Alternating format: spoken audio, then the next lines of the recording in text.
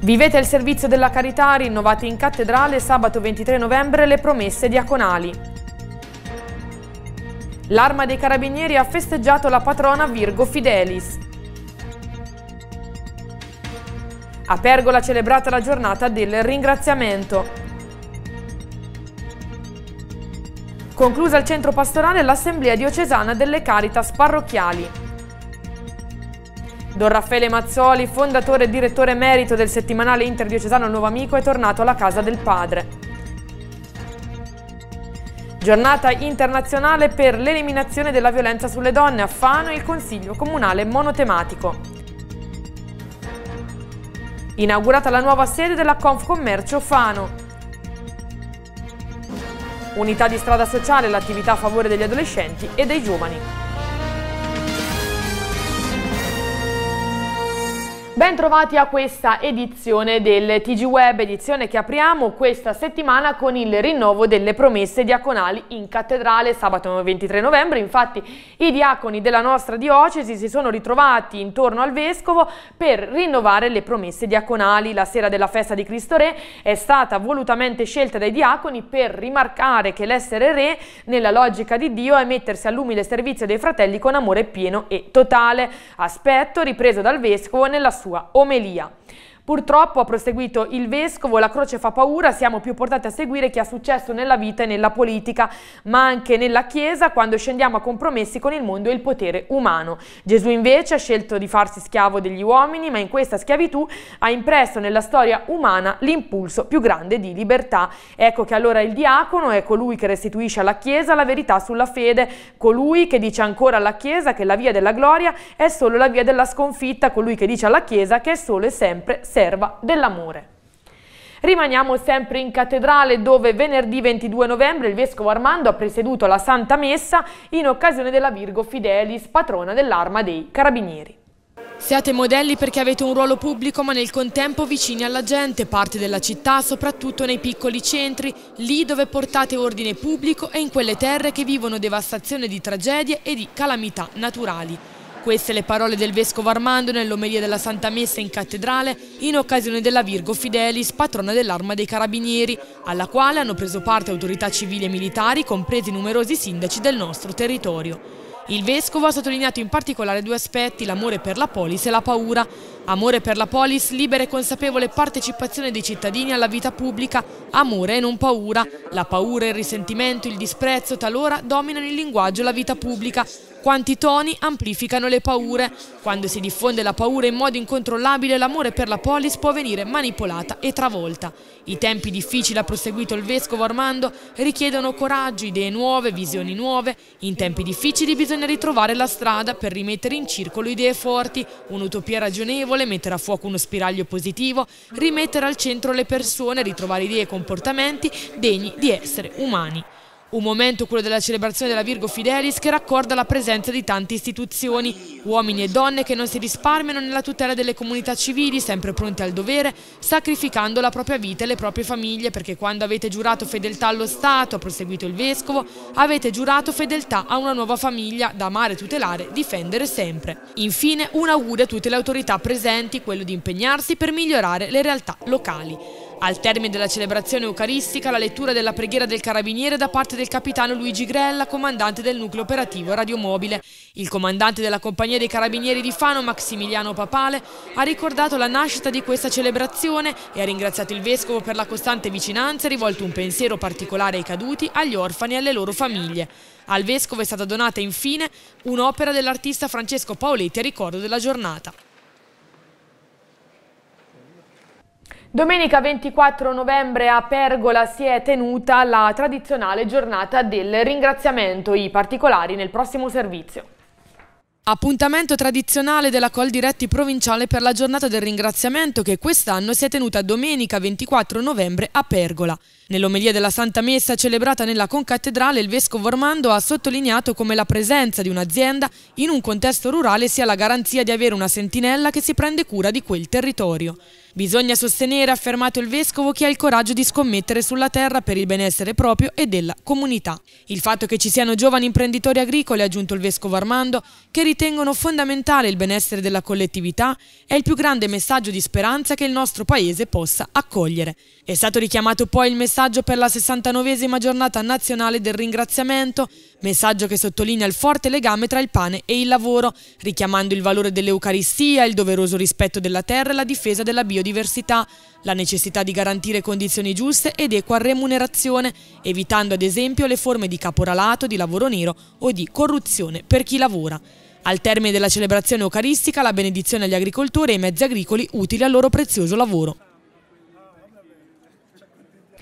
Ci spostiamo ora al centro pastorale diocesano dove giovedì 21 novembre si è tenuta l'assemblea diocesana delle Caritas parrocchiali. La speranza dei poveri non verrà mai delusa. Questo è il tema che ha fatto da filo conduttore giovedì 21 novembre all'Assemblea diocesana delle Caritas parrocchiali, assemblea introdotta dalla preghiera e dalla riflessione guidate dall'assistente spirituale di Caritas Don Michele Giardini. Riprendendo il tema della giornata mondiale dei poveri, Don Giardini ha messo in evidenza come le speranze che non vengono deluse sono quelle autentiche, quelle in grado di costruire il futuro. Il vescovo Armando, presidente della Caritas diocesana, si è soffermato in particolare sul lavoro degli operatori Caritas, che è soprattutto vocazione. Non dobbiamo sentirci mai dei manager della carità. La parola poi al direttore Angelo Farneti. Senza la vostra presenza, non solo qui oggi, ma nella quotidianità a servizio dei più bisognosi, anche l'annuncio del Vangelo rischia di essere incompreso, perché l'amore non vive solo di parole, ma di innamorati. Farneti ha illustrato alcuni degli obiettivi che la Caritas diocesana persegue. Avendo come guida il modello della sinodalità, ci stiamo muovendo in integrazione con gli altri uffici diocesani perché vorremmo conoscere sempre più da vicino la realtà, sensibilizzare e aiutare la comunità diocesana a uscire verso le periferie, formare al volontariato, rispondere con i fatti al grido dei poveri che arriva ai nostri centri di ascolto, senza trascurare l'educazione della pace, alla sobrietà e alla solidarietà, impegnandoci a denunciare le ingiustizie e a collaborare con le istituzioni e con le altre associazioni cooperative del territorio. Dopo lo spazio dedicato ai laboratori, le conclusioni sono state affidate a Loredana Filippini, responsabile area Area Promozione Caritas. Viviamo in un tempo in cui è importante raccontare il bene che esiste, ha sottolineato la Filippini, perché si sta diffondendo una cultura del sospetto e della paura dell'altro, dove spesso chi fa qualcosa per gli altri è oggetto di sospetto e maldicenza riguardo al fatto che comunque fa ciò per un suo tornaconto e per guadagno. Raccontare il bene è un modo per diffondere la cultura del bene e questo è carità. Ora a Pesaro per parlare di un lutto che ha colpito il mondo del giornalismo e non solo, si è spento all'età di 96 anni Don Raffaele Mazzoli, giornalista e direttore emerito del settimanale interdiocesano Il Nuovo Amico che aveva fondato nel 1972 e che ha diretto fino alla fine del 2017. Nel suo lungo servizio sacerdotale aveva ricoperto numerosi incarichi ed era stato inoltre cappellano del carcere minorile di Pesaro e insegnante all'Istituto Agrario Cecchi aveva fondato il Cineforum di Pesaro, era stato direttore dei beni culturali dell'Arcidiocesi, curando in questa veste numerose importanti mostre civiche. Negli anni 60 era stato anche corrispondente per l'Avvenire d'Italia. Le esequie sono state celebrate in Duomo dall'Arcivescovo di Pesaro, Monsignor Piero Coccia.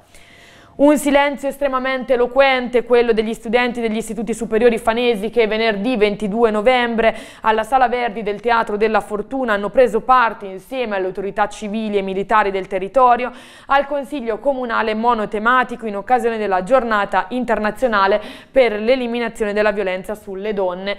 Tanti, tanti momenti toccanti della mattinata, a cominciare dalla lettura del lungo elenco delle vittime di femminicidi avvenuti nel 2018.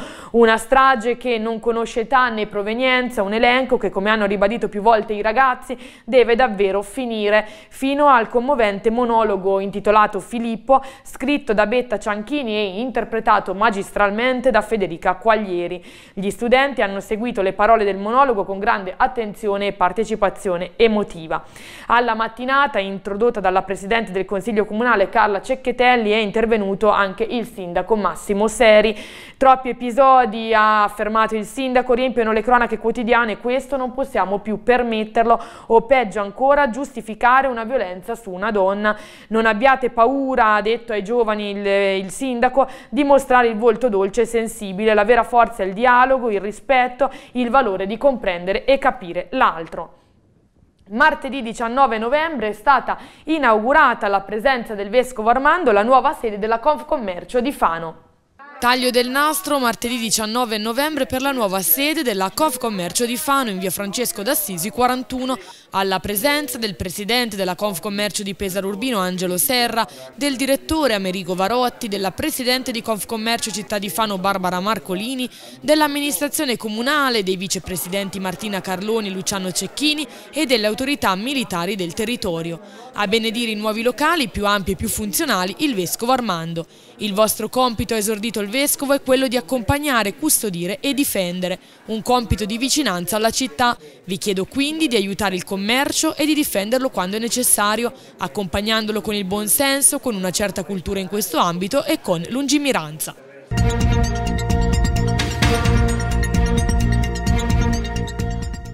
Nel nostro approfondimento oggi parliamo di un'iniziativa, mm, di un progetto dell'unità di strada sociale dell'ambito territoriale sociale 6 è un progetto rivolto in particolare ai giovani, fascia di età 11-15 anni, si parla di social room e per fare questo abbiamo qui con noi Laura Isidori, Andrea Pasquini, buongiorno, buongiorno. che sono psicologi, psicoterapeuti e operatori dell'unità eh, di strada sociale dell'ambito territoriale.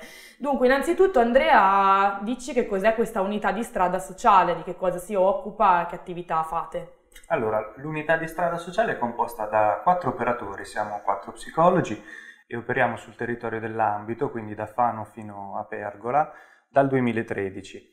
Abbiamo avuto un momento di stop con eh, dei problemi relativi all'ambito, ma poi abbiamo ripreso con più continuità nel 2017 e adesso stiamo riuscendo a fornire un servizio veramente valido e continuativo sul nostro territorio. Gli interventi si sviluppano nelle scuole eh, per sensibilizzare i ragazzi e far conoscere i temi delle, delle, dipendenze più in generale, quindi il più degli interventi lo svolgiamo nelle scuole medie dove parliamo di dipendenze tecnologiche che in questo momento sono fortemente social, eh, diciamo. sentiti, esatto, e in più strutturiamo dei laboratori pomeridiani sempre su tutto il territorio dove negli anni abbiamo svolto eh, corsi per diventare youtubers, eh, social room, tornei di street soccer, eh, laboratori di street art con ragazzi della fascia di età, come dicevi tu, dagli 11, ma siamo arrivati anche ai 18-20 anni per quanto riguarda i laboratori di street art. E come rispondono i ragazzi, le scuole a, a vostre, queste vostre proposte, iniziative? Le scuole sono particolarmente contente dei nostri interventi perché eh, ci considerano una risorsa valida, essendo poi degli psicologi giovani riusciamo ad avere anche un impatto con i ragazzi, diciamo, di vicinanza, conosciamo alcuni dei temi che, loro, eh, che per loro sono importanti, così come i videogiochi, i social network, seguiamo dei corsi di formazione costantemente eh, ben impostati con dei professionisti tra i migliori a livello internazionale, eh, per cui sono dei temi che conosciamo bene. I ragazzi nei laboratori eh, partecipano, abbiamo riscontrato delle diversità, il territorio non è proprio del tutto omogeneo, per cui mentre Fano offre tanti servizi e la proposta di un, di un, laboratorio come quello della Social Room inizialmente è partito un pochino zoppicando, ma poi ha, ha, ha preso, preso, il via. Ha preso il via eh, devo dire che nei territori più dell'interno dove magari ci sono meno proposte, eh, la risposta dei ragazzi è entusiasta sin dal, dal, primo momento. Quindi c'è anche un po' di diversità insomma, tra la città e la, e la collina, diciamo. Sì. E un'ultima cosa prima di passare a Laura, eh, che dubbi hanno i ragazzi di oggi? Qualche, vi chiedono qualcosa di particolare, qualche domanda che magari... Ma devo dirti che in realtà ne sanno molto più di noi rispetto ai social, per quanto ti dicevo siamo, siamo formati molto bene, però ci siamo resi conto che eh, i social network evolvono molto molto velocemente, per cui eh, mentre noi consideriamo eh, YouTube in un certo momento come il social più diffuso tra i ragazzi, dall'incontro con loro, dai laboratori, riusciamo a conoscere le novità che Quindi stanno emergendo. Quindi già sono cose superate magari. Esatto, la velocità fa sì che loro siano eh, più al passo di noi, ma che noi possiamo mettere a disposizione loro quelle che sono le competenze sulla consapevolezza e, e la relazione, eh, il giusto modo di, di, lavorare e di vivere i social network. Certo. Laura, parlavamo di social room. Voi avete iniziato nella parrocchia di San Paolo Apostolo al Vallato esatto. degli incontri particolari. Esatto. Di che cosa si tratta? Se ci dici anche sì. quanto dureranno gli incontri. Allora, noi stiamo partiti pensando a un sei incontri, ma molto probabilmente allungheremo la durata di questi. E la social room è una stanza nella quale i ragazzi vengono eh, per parare, parlare di social, ma non solo, affrontano tutte le tematiche legate al mondo uh, digitale, uh, soprattutto anche videogame e quant'altro. È un mezzo per socializzare, per stare insieme, una possibilità nella quale loro si possono ritrovare parlando liberamente, essendo a volte anche loro gli stessi esperti e avendo ovviamente me e Andrea come diciamo eh, regolatori, mediatori di tutte le loro idee e quant'altro e hanno la possibilità di eh, osservare in maniera critica e funzionale tutto quello che ci può essere dietro anche agli stessi social. Quindi non pre- di non assorbirlo passivamente. Assolutamente, no, loro creeranno infatti e hanno già iniziato a creare delle bacheche cartacee all'interno delle quali eh, portano le loro passioni, le loro, i loro piaceri e, e da qui eh, partirà poi il progetto esterno alla social room eh, che si propagherà nel quartiere stesso anche da un punto di vista di riqualificazione del quartiere perché prima i ragazzi con l'aiuto di un esperto realizzeranno delle bacheche ehm, da quello che abbiamo pensato probabilmente su un supporto più importante eh, che verranno poi esibite e mostrate alla cittadinanza come mostra eh, interattiva e non solo, nel senso che i ragazzi avranno la possibilità di mostrare all'esterno quello che hanno creato con noi. Quindi è importante che venga coinvolta anche una la cittadinanza. Esatto, c'è una restituzione non solo per far vedere cosa sono i ragazzi, ma soprattutto quello che fanno e come lo fanno. Da lì poi c'è anche un progetto un pochino più ampio dove vorremmo coinvolgere il comune per riqualificare anche la piazzetta del quartiere. Nel Vallato, parliamo. Esatto, e praticamente con l'aiuto di un writer andare a writare, quindi i ragazzi impareranno, come abbiamo fatto anche a Sant'Urso, eh, imparare a writare e andare sul muro per lasciare una traccia di se stessi, quindi eh, come si fa un pochino nel, nei ragazzi, no? si sta prima dentro casa, piano piano poi si esce perché gli adolescenti fanno quello, incominciano a interagire e il progetto è proprio questo, eh, lavorare da un punto di vista sociale, farli vedere, mostrare, farli uscire piano piano, magari dalla social room che è un luogo protetto ad un luogo più aperto dove tutti possono venire, interagire e stare. Esco un attimo da, dall'ambito dell'unità di strada, sì. magari faccio una domanda più a livello da psicologi, psicoterapeuti. Che ruolo hanno i genitori in tutto questo? Allora, vuole rispondere. Mm. Il ruolo dei genitori è, è centrale, sì. è molto importante la, la, il loro coinvolgimento. Infatti l'unità di strada eh, prevede anche delle iniziative, degli incontri con dei genitori, ne abbiamo fatto uno questa settimana ad Orciano, ne abbiamo degli altri in programma da calendario da qui alla fine dell'anno e il fatto che anche i genitori siano consapevoli e siano partecipi anche del percorso di crescita dei ragazzi è molto importante. Il progetto della Social Room infatti prevede un incontro, una, una tappa diciamo intermedia tra la Social Room e l'esterno. E l'esterno dove praticamente vorremmo chiedere ai genitori di partecipare per aiutarci a, a preparare queste bacheche.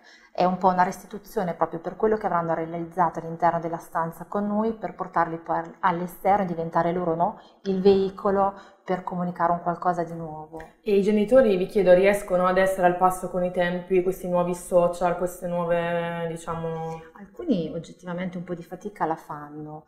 Eh, anche perché, eh, come diceva anche Andrea, i social vanno ad una velocità che anche noi stessi che ci lavoriamo facciamo veramente fatica a essere sempre al tempo eh, dei ragazzi, a ritmo con loro, però è anche vero che eh, si pongono in una maniera critica, hanno voglia di discutere, hanno voglia di parlarne, ci fanno spesso domande, anche l'incontro preparativo alla social room dove sono eh, venuti con noi molti genitori, siamo riusciti proprio ad affrontare le tematiche legate anche all'uso dei social, cosa può essere giusto, cosa non può essere giusto e quindi il fatto già di provare a porsi e di mettersi in discussione è, è, è centrale. Sì. Eh, mi ricordate in ultimo i prossimi incontri che farete al, al Vallato? Allora, saranno tutti i giovedì dalle 17 alle 19.30 e aspettiamo i ragazzi che vogliano venire anche solo una volta per osservare, guardare. Per capire magari che eh, cosa sì, succede, che sì, cosa si fa. dalla curiosità, ben volentieri, non c'è un obbligo di frequenza, non c'è nulla. Quindi libero al massimo. Ecco. Assolutamente ecco. sì. Bene, io ringrazio Laura, ringrazio Andrea per essere stati con noi oggi. Per oggi è tutto, vi ricordiamo che è possibile seguire il nostro TG Web sul sito fanodiocitv.it. Grazie per essere stati con noi, arrivederci.